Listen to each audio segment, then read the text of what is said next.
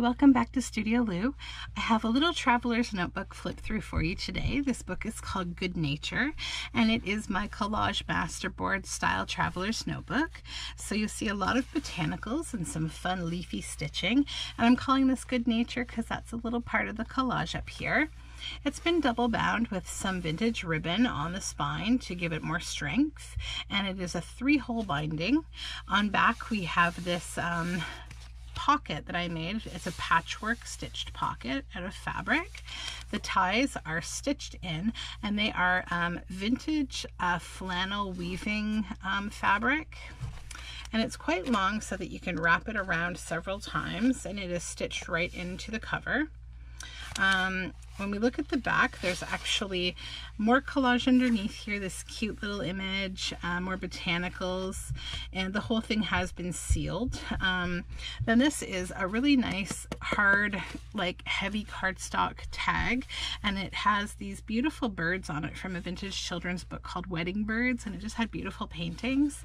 And this is some really lovely sort of iridescent um, mohair boucle in blues and pinks um, that is the top in the top of the tag. So now we can just hop right in and take a look at this journal. So when you open it up, you'll see there is like a bureau style folder side pocket here and I've used this beautiful butterfly fabric as the backing. It's got gold in it. It's really pretty. And this is a large journal card that I made from a vintage book and this rose fabric is actually a fun um, sweatshirt fabric and I just stitched this lovely owl from a vintage book down on top of it. So it's a large journaling card. And the journal gets started with a pocket made from this vintage photograph of this beautiful couple from the 1950s and it is on this lovely botanical paper that's been tea-dyed. And inside is this tag. Um, it is a tuck style tag so the back is collaged it's a collage tag. You'll see some botanicals and butterflies. And then this tab says armchair travel and it sort of holds a piece of ephemera. And it's from a book about sort of simple little things that make your life better. And I think armchair travel is one of those things especially nowadays. And then this is an original piece of vintage ephemera. It's a funny card. Um, it is a CB radio um, calling card basically so if you're not familiar with CB radio people used to use it to communicate a lot of um, truck drivers still do and you basically had your own handle or your own name and you had like calling cards and that's how you kind of communicated with your community of people that you that you met on the road um, so this one is from Lloyd Bruce of St. Catharines Ontario and um, it, it he went by Mr. Reliable. And um, there is some handwriting on the back. Um, it was his mailing address and his signature. So just an interesting, fun piece of ephemera. Um, on this side, we have cabbage dyed paper with a little butterfly and some letters, just a little kind of cluster collage. And this is a page um, from Release the Craftin's uh, Winter Dreams kit. So it's this beautiful blues, kind of watercolory. And then I've stitched on um, a tab here with this beautiful gold sequin fabric and it's organza and then a little fabric collage with a brass button, some fun vintage buttons, and floor. Um, this is flour sack fabric and or, uh, crochet um, flowers and doily and all sorts of stuff.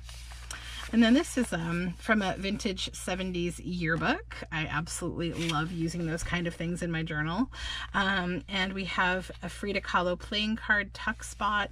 And inside is a vintage postcard from the Hall of Mining, Engineering, and Metallurgy, Lafayette College, Easton, Pennsylvania. This is Markle Hall.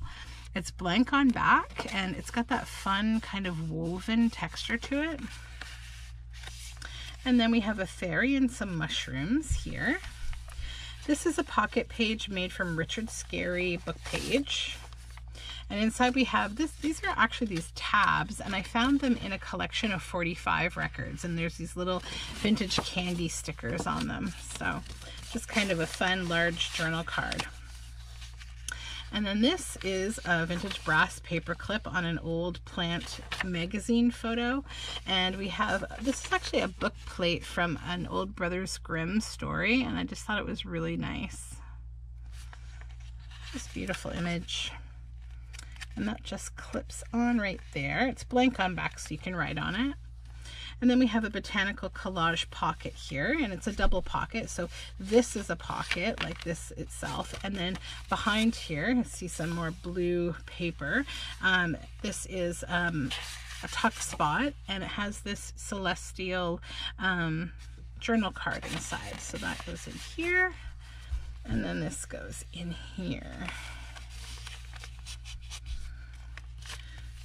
Then this is the tab from an envelope and it just says Sweet Springs and it has this little little animal and a little button. And then we have um, some more botanical paper. And then on this side, this is a flip out of um, a, from a bird field guide, an image, more botanicals. And then this is an upper tuck pocket, the letter R. It's um, an index card with some lace and a little safety pin with beads, and then a Gerard Manley Hopkins poem. That's cabbage dyed paper. And then these adorable seagulls on this um, pull down tag. And some stenciling on cabbage dyed paper, botanical paper with a fabric ruffle, and a little bit of um, chain here on a bulb pin. Tea-dyed paper. This is um, late 1800s vintage music paper, and I've done some um, jelly printing on the back. And then this is a vintage um, brass paper clip. So this is um, a digital page from Paper Cameo on Etsy. Um, and these are two original um, ephemera pieces. So this is a vintage plant card for the screw pine plant and I left it as is. You could put paper on the back to journal if you like. And then this really neat photo of these two gentlemen that they look like they're standing in the doorway of a barn or something. Um, but these are all 1950s images. This one is a tintype. You can see, hopefully you can see it in the camera. Cabbage dyed paper, more jelly printing. And this is a flip out of these beautiful um, moth. It's from a vintage um, insect book. And then this fun paper, it's got like dandelions on it. It was uh, part of um, a packaging paper. And then on this side, we have this cute little, this is Dipsy Donkey from a 1950s book. And this tips out, and it's another image of them.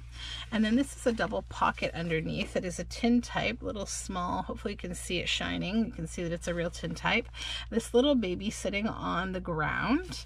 And there's a little floral tab in there for writing on and another large tag. This is from a children's book and it has this nice folk art type fabric on top. And then we have this beautiful old ledger with a bee.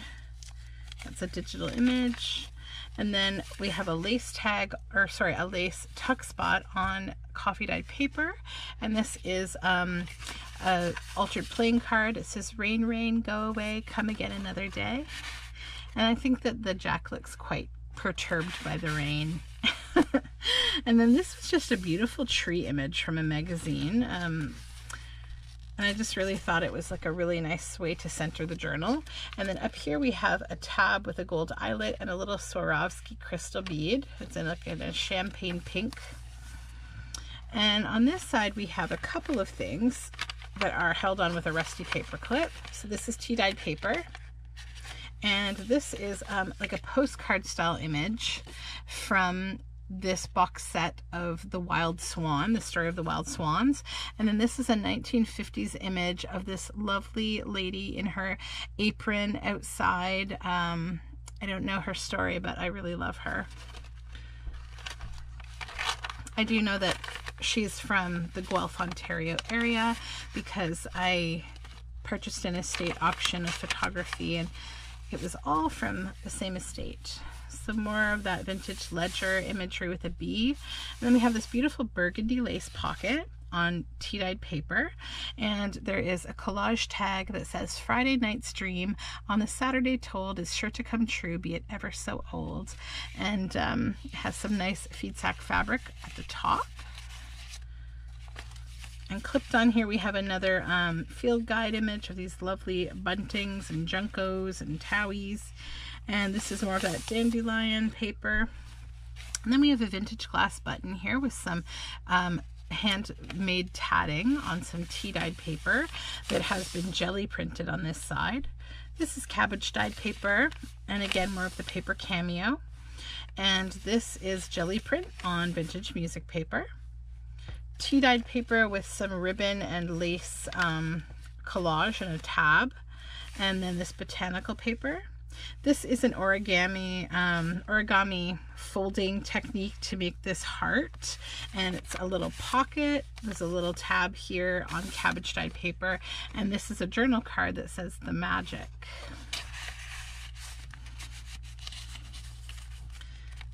And over here, this is cabbage dyed leaf paper, and you can see some sea creatures here on that paper tab.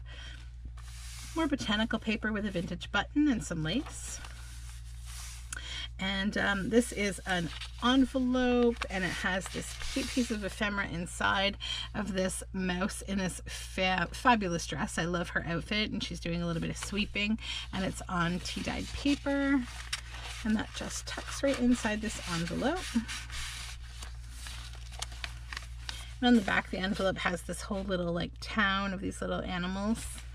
And this is cabbage dyed paper with feed sack and lace in the tab. More blue paper. And then this is from a vintage um, plant magazine with a tab with some vintage buttons fabric tab.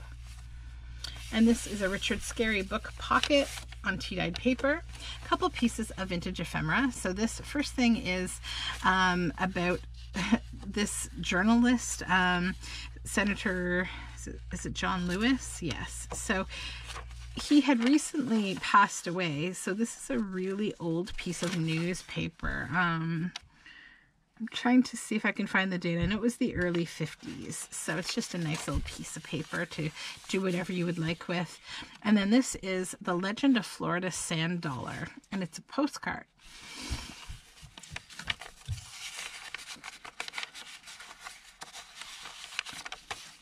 And then this just says forest and has this beautiful tree. And then there's this large lace pocket. It's really beautiful lace and it's on ledger. And this is a collage tag that says Fairy Godmother. And some cabbage dyed paper with this beautiful crochet flower at the top. More blue paper from the Winter Dreams kit from Release the Craftin'. And then this is cabbage dyed paper. This is um, a rusty paper clip holding on to a couple things here. So this is vintage bridge score sheet.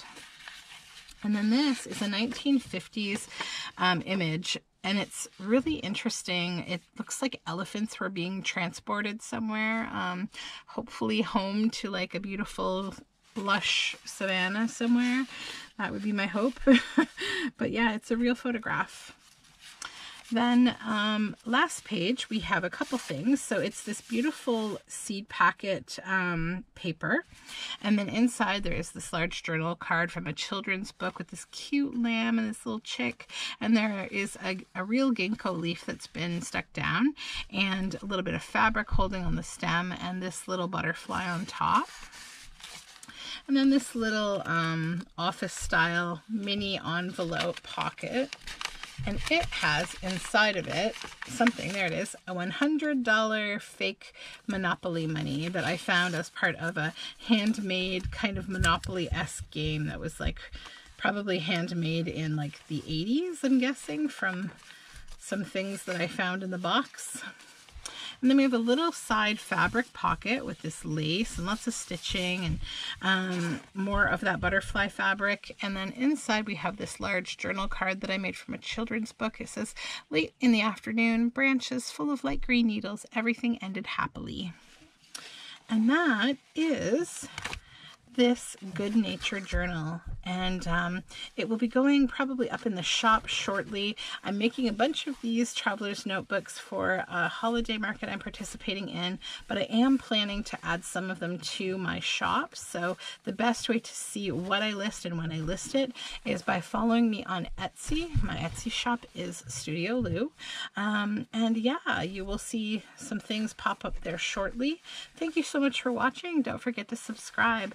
Have a lovely day. Bye for now.